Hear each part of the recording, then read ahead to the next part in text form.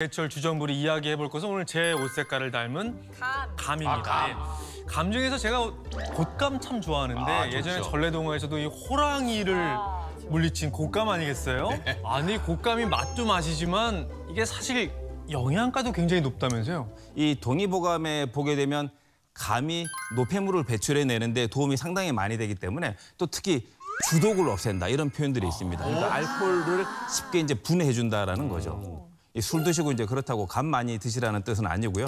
아무튼 이 감이 베타카로틴이라든지 비타민 C라든지 탄닌 같은 다양한 항산화 성분들이 많기 때문인데요. 그 중에서도 이 비타민 C의 함량이 사과랑 레몬보다도 두배 이상 풍부할 정도로 항산화 물질이 많기 때문에 또 가을철 주전부리로 감을 적절하게 드시는 것도 또 좋은 방법이 되겠습니다. 예.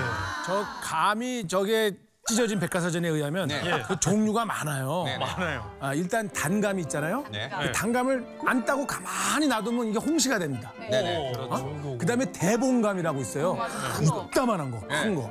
그다음에 꽃감 있죠. 네. 근데 우리가 혈당 조절에 좀 신경 쓰려면 그 중에 어떤 감이 그래도 제일 낫나 네. 여쭤보겠습니다. 네. 혈당 조절에 신경 쓰시는 분은 단감을 고르시면 됩니다. 단감, 네. 단감. 사실 이제 감도 그렇고 대부분의 이제 과일들이 잘 익으면 말랑말랑해지잖아요. 과육이 말랑말랑해질수록 당도도 높아지게 되고 또 이 당이 체내 흡수가 되기 좋은 형태가 되기 때문에 특히 혈당 조절하셔야 되는 분이라면 단감으로 선택하시는 게 좋습니다. 자,